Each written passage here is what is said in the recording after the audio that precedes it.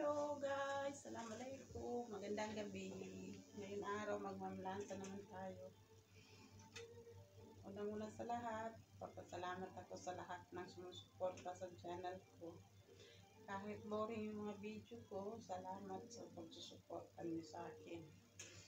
Hindi dahil sa inyo, hindi ko maabot yung ganito na subscriber. Malapit na ako mag 2,000 subscriber. Hindi pa na monetize kasi alam niyo naman na boring yung mga video ko.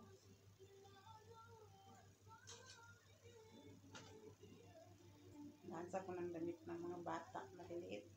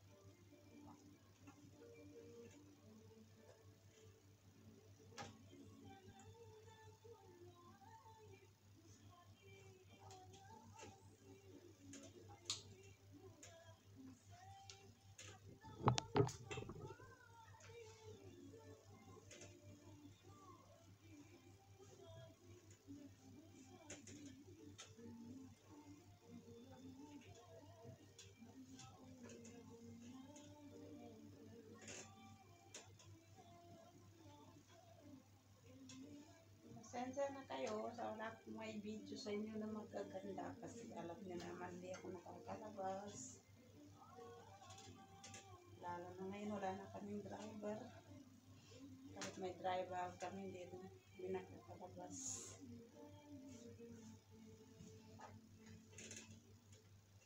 Ito na lang ginagawa kong panglibangan, mag-video ako.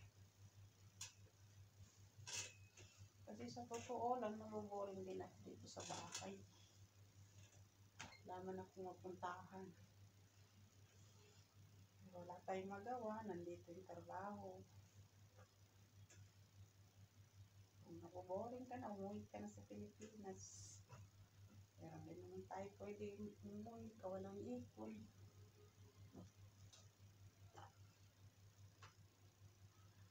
Makipulos. Di pulos basta. May napuntahan na, nababudget na.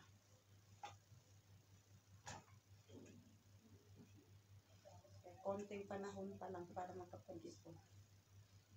Ng kapital na naman ko lang.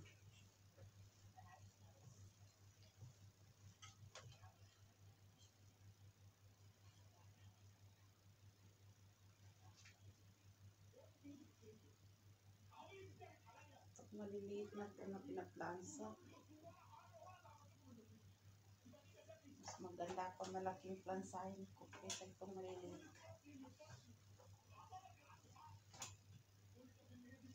Hindi naman sa akin ito sa kasama ko to na si Kuya Catherine. Kaya lang wala sila dito kaya pinaplansa ko na lang para pagbalik niya wala na silang plansahin. Kasi wala rin akong trabaho ngayon eh. Wala pa nagpapaluto. Kaya para makabidyo, kung lansa na lang na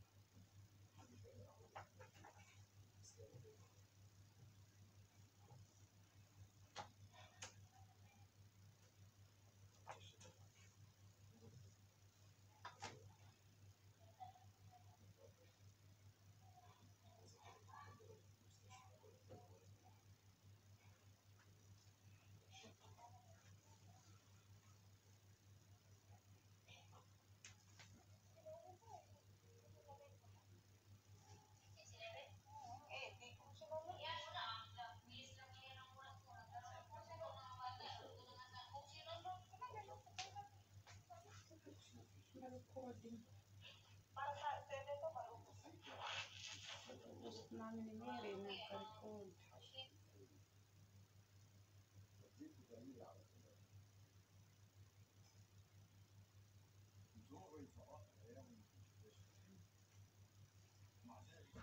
Record. Ay.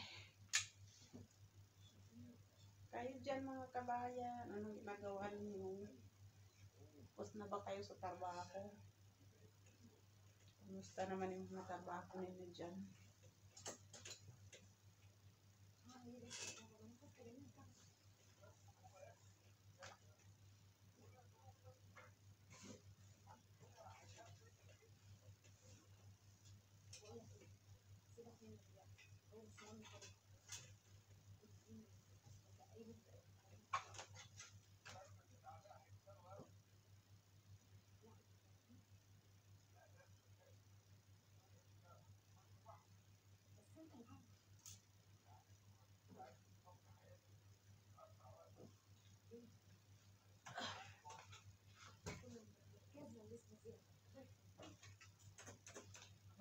Kabitak.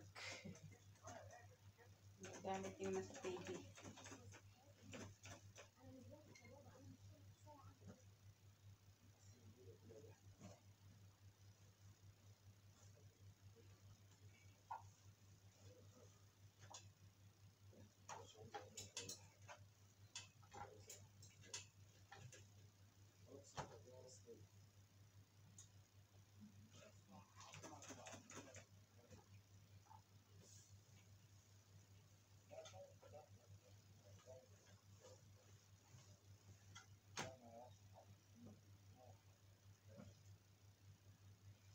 Pasensya na kayo ha, paulit-ulit. Ganito lang iyak. May, may pakita sa inyo, mamang lansa, tapos sa bakuran, sa mga gulay ko.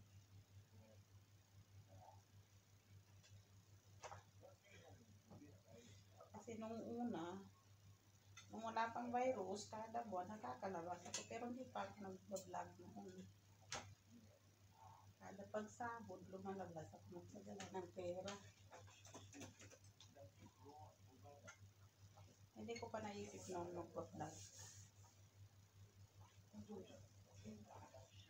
Ngayon, nagpa-vlog ako, hindi na ako nakakalabas. Kaya kung sino-sino na lang ma pusang ko mag-video sa akin. So, hindi ko naman ma-upload yung, binibigay nila sa akin ng mga video kasi hindi ko rin kaya yung cellphone ko na to.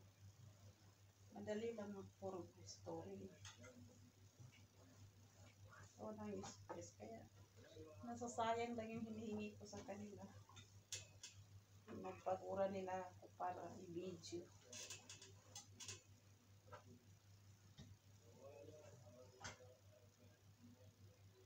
Ngayon wala akong kasama dito kasi yung si Babo Saria na kasama ko wala dito. Pumunta doon sa anak ng amo ko kami party doon. May birthday. Ako nakapunta doon.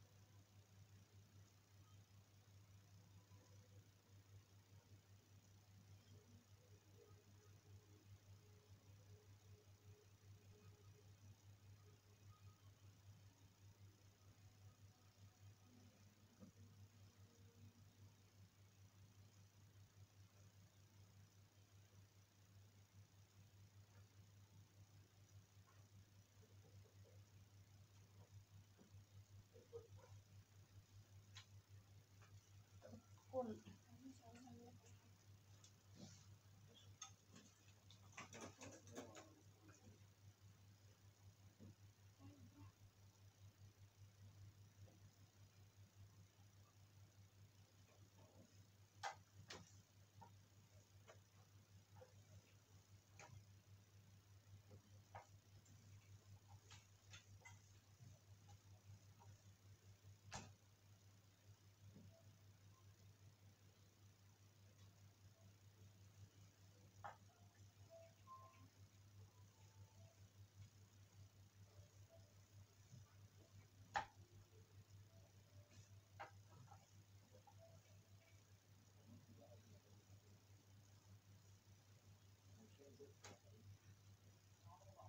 tanong ko pala sa inyo mga kabayan.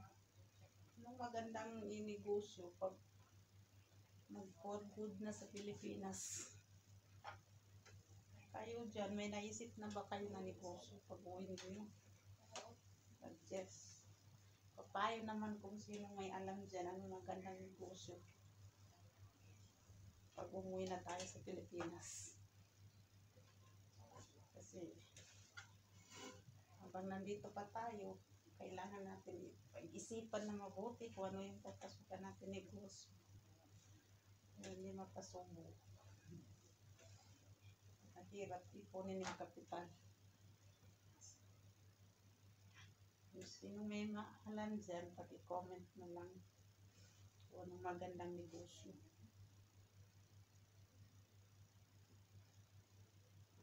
Maraming salamat sa makapayo kung kung maganda.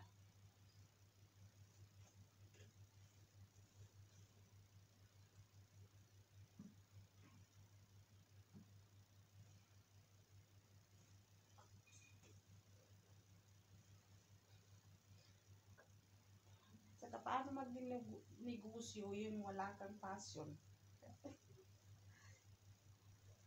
Walang passion sa negosyo. Kasi ako wala pa akong passion sa pagninegosyo kasi hindi pa ako naka-negosyo kasi hindi ko pa ako sa Qatar. Hindi ko pa na-try anong passion na papasukan ko kasi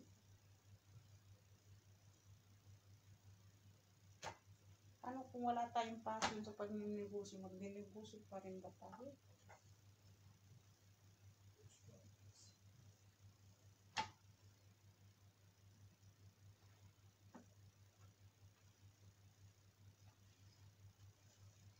Po ito yung passion kung magkatulong?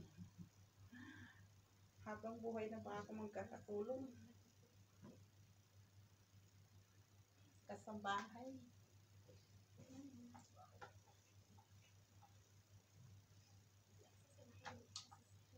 Alam niyo ba yung pangalan ng katulong sa Arabic? Ang katulong sa Arabic ay Kantama. Kantama o Sakala. Yung pangalan namin dito sa kanila. Kasi yung ibang mga amo, hindi ka tatawahin na pangalan. Kasi tatawahin ka nilang Kantama, ganyan. Yung katulong mo, yun ang tawag nila sa'yo. Kaya nakakainis yung mga amo na ganun ang pagtawag sa iyo. Yung isa may pangalan ka rin, hindi ka tawagin ang pangalan mo ka. Sabi, sabihan ka pa nakagdama. Pero dito naman sa amin, alhamdulillah, hindi kami tinatawag ng ganun. Yung pangalan din namin ang tinatawag sa amin.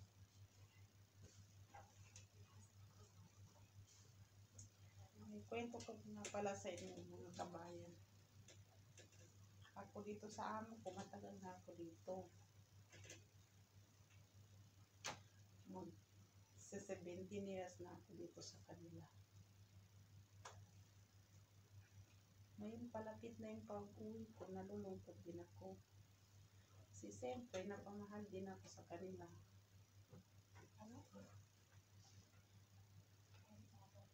Minsan iniisip ko na hindi na lang ako uuwi, pero hindi naman pwede. Hindi ako uuwi. Buti kung may anak ako para tumagal dito. Wala pa akong anak. Ay, ang hirap pag tumanda tayo, walang anak.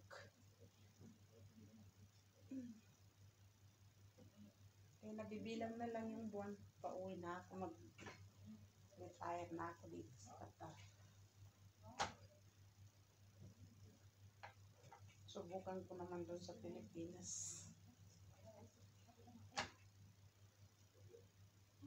Anong pwedeng pagkakitaan?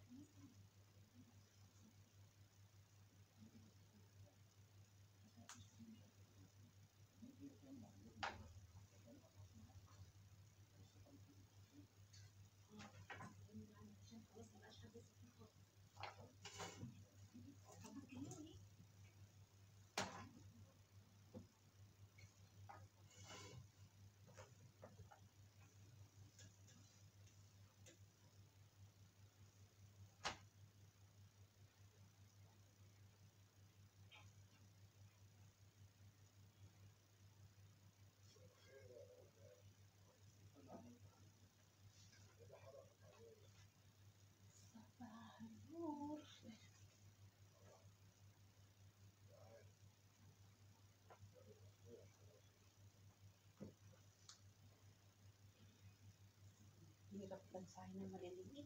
Kakahili.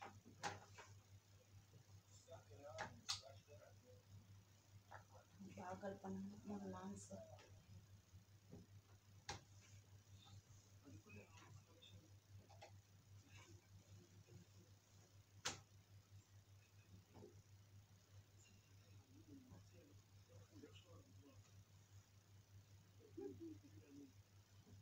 Bakala si Catherine mag-ayos.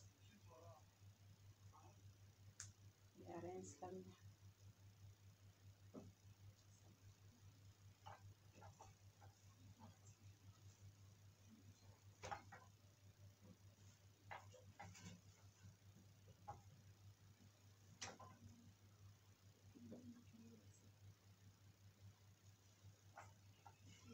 Uy, natawag ulit sa.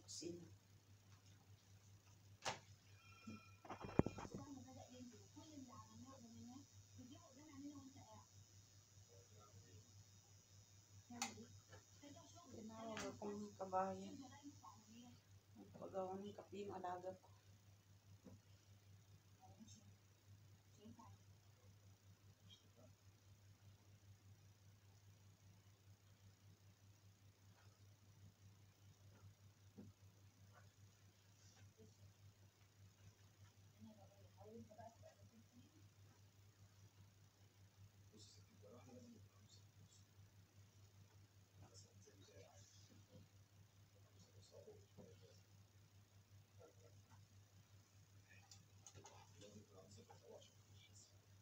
now the the exercise. That's a, it's a, it's a, it's a,